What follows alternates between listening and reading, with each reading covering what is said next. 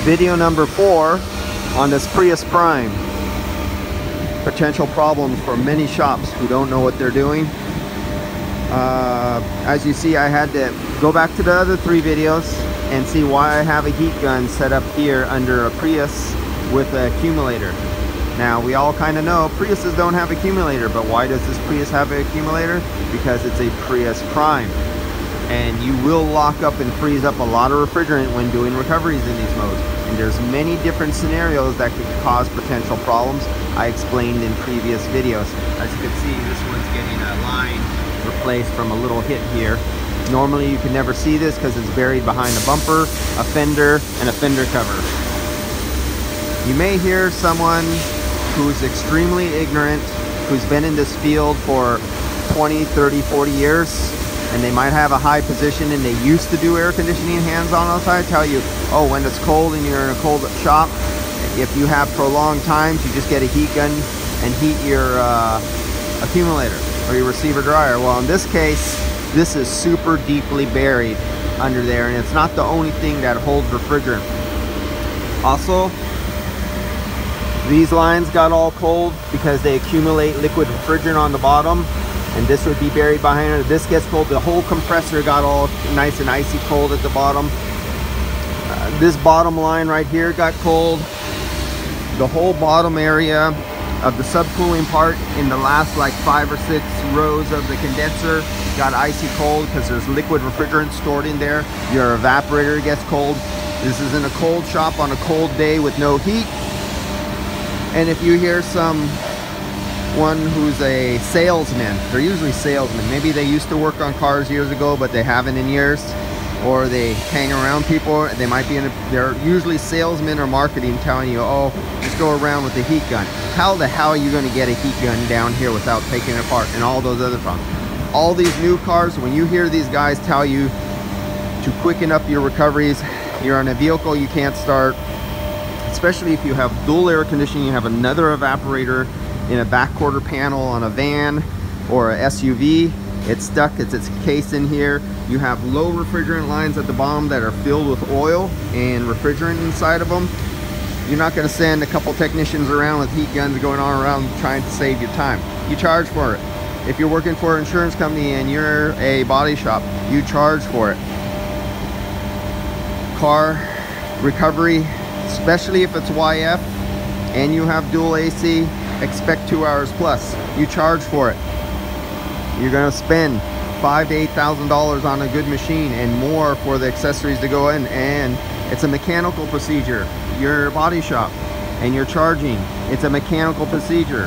I'm gonna take some numbers out of my local area because I'm not in Illinois or Tennessee or North Dakota or maybe some area where living wages in a city rates are really low like say $60 or $90 an hour for mechanical labor rate and maybe um, 38 or $58 an hour for body shop labor rate. No, we're in the San Francisco Bay Area and you're $160 to $260 mechanical labor rate and you're floating somewhere around 110 to $150 body shop labor rate.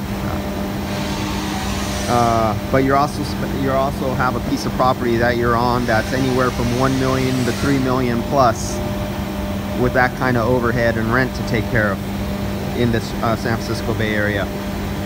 So if you're a shop and you're doing recoveries, you charge for it to ensure at mechanical labor rate. If you don't have the guys and equipment trained to do it, just don't do it. Otherwise, I will be seeing your burnt up compressor in another mechanical shop and when I do the diagnosis and find all the problems on it, you will be paying for that customer's burnt out compressor and flushing the system. And on this kind of vehicle here, you will be seeing a three to four thousand dollar bill for one little tiny oversight because of unqualified people with unqualified equipment working on it and taking advice from say somebody from marketing and sales on how to do proper recoveries and recharges and speed it up who you'll see saying this kind of stuff where you just go around with a, a heat gun and go heat everything up. They'll always be connected to sales and marketing and they'll have a white shirt on. Uh, or some clean shirt on and they'll be in a stature of marketing or sales or somehow through the grapevine, they're connected with money in advertising or connected with sales of products or equipment. And they're the ones who will give you that old school information of going around. Yeah, 1974 pickup. I could stand in the engine bay and hit every air, uh, every air conditioning problem with a heat gun really good. 50s, 60s cars, no problem. Some early 70s cars, as you got the emission controls with all the vacuum lines in the 70s, you started burying components. By the 90s and 2000s, forget it. You can't get to these components. So if you're listening to a training class or a program or information from a magazine and they tell you to speed up your precision, uh, speed up your recovery, go around with the heat gun, are you going to take all this apart just to heat up all these components? No, that's unreal. That's not going to happen. And this is some of the information that's being given by individuals out there to speed up your system. This is a real world. It's winter times. There's collisions. You can't start cars and you got to do recoveries, charge for it. Uh, right now, I'm finished.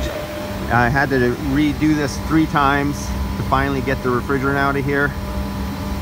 And let's see what I'm pulled down to right now. I know I'm down into the microns. I'm all the way down into like, yeah, there we go. Going into the 700 micron range uh, for the fourth time.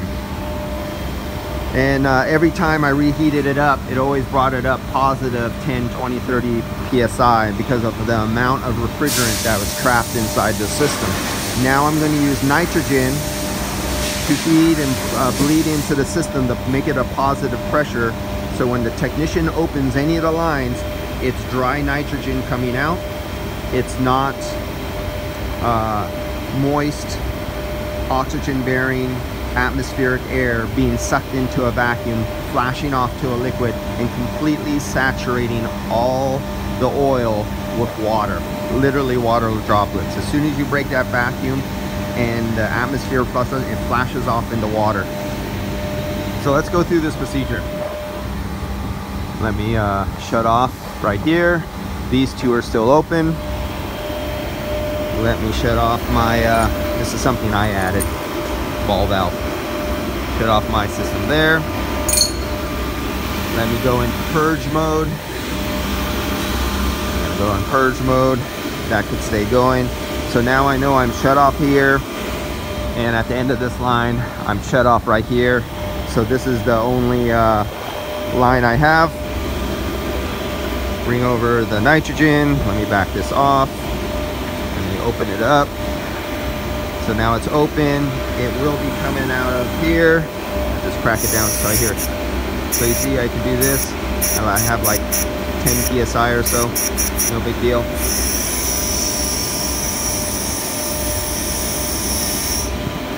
So I'll take this off here. And we'll hook it up. And as you can see, my gauges are smashed because I have dropped them more than one time. I don't need gauges. Uh, you must have gauges. Guys, especially if you don't have experience, for safety, you have to have working gauges. There is a way around, I mean, you kind of see me work it. So I'm gonna open it up right here. So I can bleed air through there. Let's open that up. We can now hear it. We can see actually see it moving around here. It's blowing out on this little string right there. We're positive pressure we just bled out this line up to here.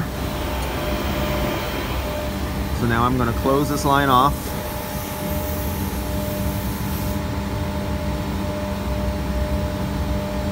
There we go. And now, make sure, yeah, yeah, I'm open. And uh, so now I'm gonna back bleed, purge in dry nitrogen into the system.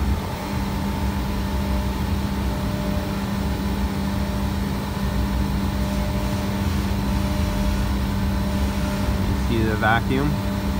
Now it's going to go into positive pressure. Boom. That's all we need. One, two, three, four PSI.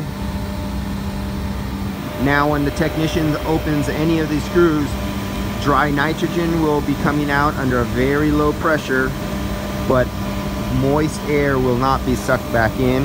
And I gave them very detailed specific instructions. Every line he goes up put a rubber plug inside, put a plastic plug in inside, tape the hell of it. Tape it like your life depended on it because the customer's compressor depends on it. And it's not immediate damage, it's like a ticking time bomb that happens over a period of time. And so now I could shut everything down. My gauges will be filled, are filled with dry nitrogen now.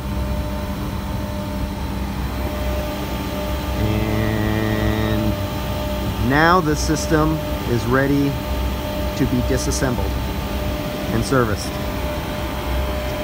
Um, we still have these potential leaks at all these points where we see all this oil. If you remember from the last three video, there one there. So as I see more of these vehicles, if I keep seeing oil and keep seeing that they're like on this one it's 200 grams low from a factory and it's only a uh, 2018 at 200 grams low. So we're roughly eight ounces almost um, low on refrigerant. Did I get that right? Uh, one two three three six seven about seven ounces close to seven ounces low on refrigerant and it's only a 2018 and I have these possible leak points. So if you're a Prius customer, um, break out the old strong flashlight and see if you have these. If you're a technician watching this video and Prius customers come in, break out the flashlight, the borescope, get down inside here and see if you could see these leak points that I have noted because you'll see it on other Priuses. Alright guys, I'll see you until we get to our next Prius Prime and I'll be back to recharge this back one back up probably about a week or more because it's hard to get parts right now. See you guys.